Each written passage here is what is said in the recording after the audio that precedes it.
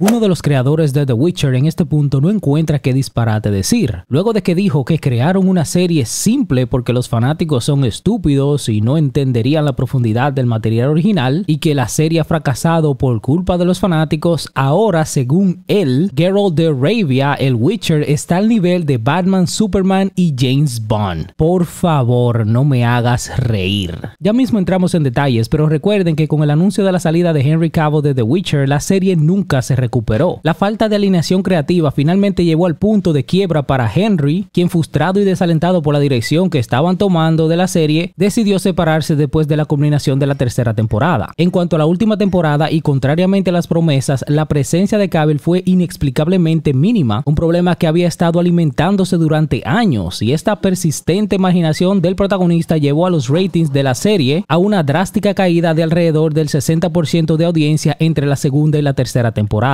En medio del caos, las figuras claves involucradas en la creación de la serie de Netflix continúan hablando estupideces. Y llegamos al ejemplo más reciente donde tenemos la afirmación de este escritor productor diciendo que la influencia de Geralt el Witcher rivaliza con figuras veneradas como Batman, Superman y James Bond. Qué gran estupidez. Si bien es cierto que The Witcher disfruta de cierta popularidad gracias a los juegos, los libros y sí, la interpretación de Cavill, la cual ha contribuido a su popularidad, pero ponerlo a nivel de los mencionados es simplemente absurdo. Lo que están tratando de hacer es elevar aún más el personaje para proyectar que está en un mejor lugar sin Henry Cavill. Si de verdad creen que el personaje ha alcanzado a tales alturas gracias a la serie, ¿por qué fue el tiempo del personaje en pantalla tan limitado? Como que tal lógica no tiene sentido aún en el mundo que ellos tratan de proyectar. Si el personaje es tan importante y trascendente, ¿por qué fue limitado en su propia serie? Para establecer un paralelo, es similar a imaginar una película de James Bond donde el papel de Bond se reduzca a unos pocos minutos mientras que otros elementos periféricos dominen la narrativa. Tal cosa es lo que ha estado sucediendo ya por tres temporadas, particularmente en la última. Ahora bien, en cuanto a la comparación de estos específicos tres personajes, está de más decirlo, pero la profundidad y la trascendencia de Batman, Superman y James Bond en el imaginativo colectivo son incontestables. Tenemos a Batman, el Caballero de la Noche, que ha trascendido las páginas de los cómics para convertirse en un símbolo de la justicia y la redención. Su identidad dual como Bruce Wayne y Batman le otorgan una profundidad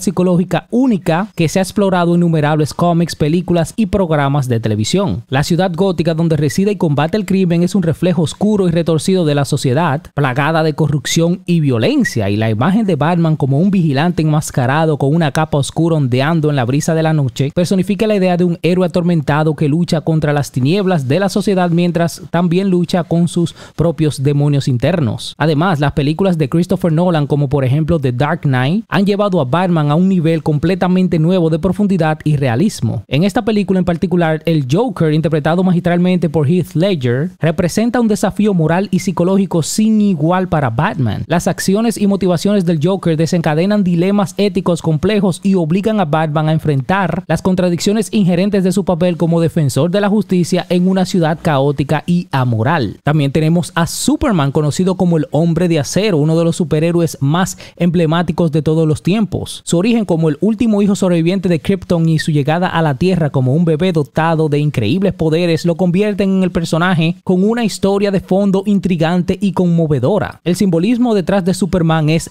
poderoso. Él personifica la esperanza y la posibilidad de un mundo mejor. Su personalidad amable y la voluntad de utilizar sus poderes para proteger a los inocentes reflejan los ideales heroicos de la humanidad. A través de su lucha constante por la verdad y la justicia, Superman se convierte en un faro de inspiración y un ejemplo a seguir para las personas. Su intención de salvar vidas y perseverar el bien común define su papel como el héroe definitivo. Un ejemplo que resalta la representación heroica de Superman está en la película de Man of Steel, dirigida por Zack Snyder en esta película se profundiza sobre el origen de Superman, explorando su crianza por Jonathan y Martha Kent y su eventual aceptación de su identidad y responsabilidades como defensor de la Tierra. En esta película el personaje de Superman se presenta como un ser que debe tomar decisiones difíciles y sacrificar su propia comodidad en aras de la seguridad y el bienestar de la humanidad. Por último tenemos a James Bond, el legendario agente secreto británico que ha cautivado a las audiencias de todo el mundo durante décadas. Su imagen es sinónimo de elegancia, intriga y acción desenfrenada. Desde su creación en las novelas de Ian Fleming hasta su inmortalización en la pantalla grande, James Bond personifica una mezcla única de misterio, sofisticación y valentía. La figura de James Bond evoca el glamour de la alta sociedad y la emoción de las misiones encubiertas. Su habilidad para enfrentar a villanos siniestros y su habilidad para sortear situaciones peligrosas lo convierten en el arquetipo del agente secreto. El personaje también es conocido por su gusto por los uh, gadgets y su estilo de vida lujoso, lo que lo han convertido en un ícono de la cultura pop y una referencia constante en las conversaciones sobre espionaje y aventuras. A lo largo de las décadas, varios actores han interpretado el papel de Bond, cada uno dejando su propia marca en el personaje, desde las interpretaciones clásicas de Connery hasta la versión más moderna de Daniel Craig. La saga de James Bond ha sabido mantenerse relevante y emocionante para nuevas generaciones. Estos tres personajes mencionados han trascendido generaciones influyendo la forma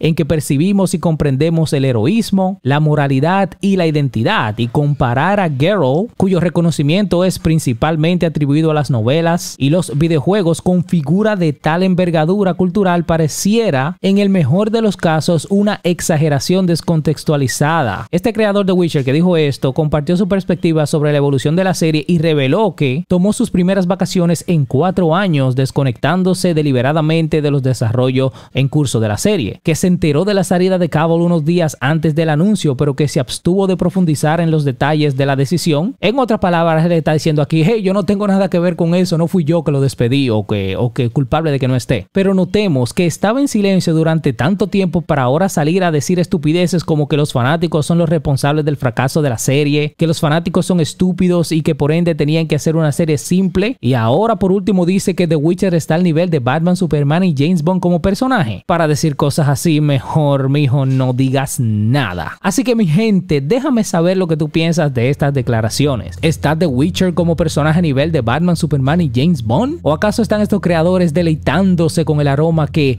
emana de manera gaseosa de sus traseros? Déjame saber lo que piensas en la sección de comentarios. Si te gustó este video, suscríbete para más. Yo lo voy a dejar hasta aquí. Se despide su amigo hermano Rudy López. Uh, make it ya.